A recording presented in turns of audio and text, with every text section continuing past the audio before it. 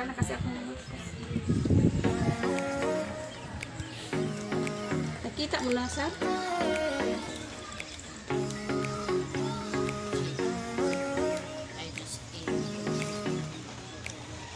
Hi guys! Etong buhok niya guys, ang history nito, dati kasi pinakulayan niya ng itim. Isama niyo mo. Tapos, gusto niyang ibalik sa golden blonde ang buhok niya. So, ang ginawa niya, bumili siya ng sarili niyang gamot, lagay niya sa buhok niya, bleach. So, ang kalabasan guys, hindi na siya nasusuklay. Kaya gusto niya ibalik daw sa dating color. Hindi naman pwede kasi lalong mangarang ang hair niya. Kaya ginawa, nag-Brazilian naman siya. Kaya ito guys, inihimay isa-isa para ma maano supply ang buhok niya. Ito. Tingis mo. Kasi sobrang bulbul ang buhok niya. Nasa gitna. Na-stress na siya sa buhok niya.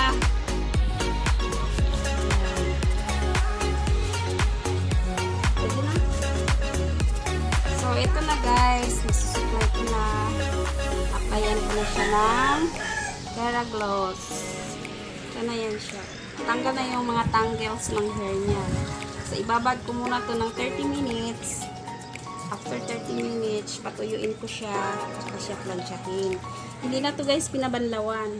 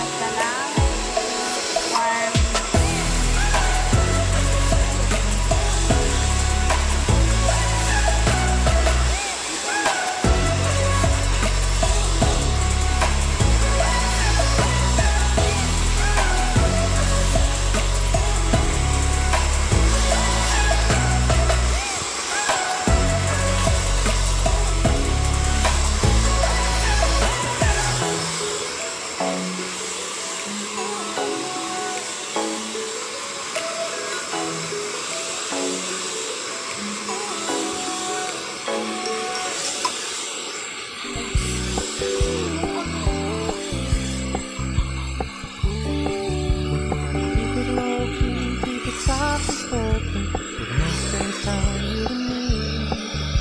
I'm happy in your company with no emotion. Cause my love deserves to Guys, after guys, ipaplancho ko na siya. Never wanna lock you down. I know you're not mine, just Ay, my friend. yung We 30 can still have fun. Ayan, paplansyahin na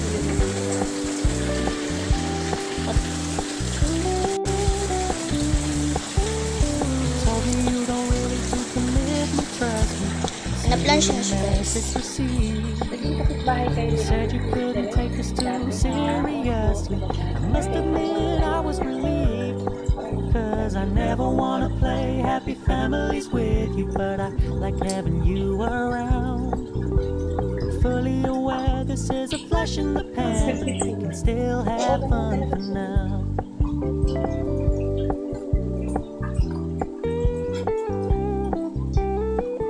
Kapit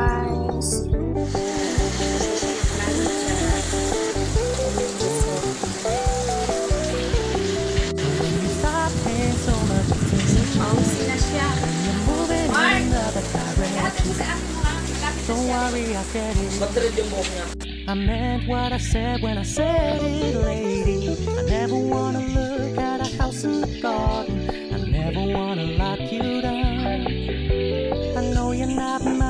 It's just my turn still have fun now. No one ever wanna play happy families with you, but like having you around. Fully aware this is a flash in the pan, but we can still have fun now. Yeah, we can still have fun now. Oh, we can Long still have fun now.